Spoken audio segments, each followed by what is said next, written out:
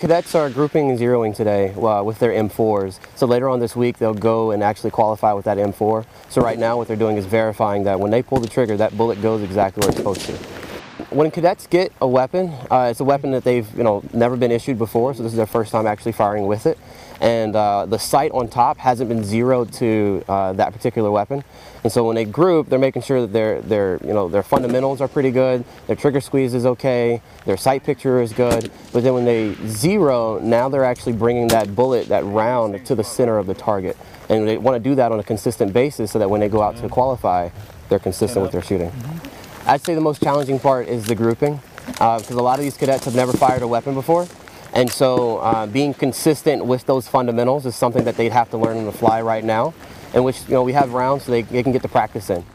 Everyone's competing against themselves to do better than they did the last time. And just to, if you want Recondo, you, you got to fight for that too. Well, everyone's kind of on the same page, I guess. Everyone's just like, we all know what we're doing here. We all want to get through it and uh, they, we all feel good. Just want to get this down. We all want to shoot expert tomorrow. We get to shoot a lot at my school, so it's nothing really super new to me. Just it's raining out, but if it ain't raining, we ain't training, I guess. Well, you can see uh, we're pretty wet, and so um, uh, you know if it ain't raining, we ain't training. Cadets, right now, from what I've been able to see, the morale is really high. Um, they're they're appreciative that it's not too hot out here in Kentucky. Uh, we got some rain to cool us off. And you know, like any good training day, it's, it's really fun when you get out here, uh, you're out of range and you get to shoot um, and expend some rounds. I remember when I first picked up a weapon, uh, I was at basic training and I was like, oh my God, like what am I gonna do with this thing?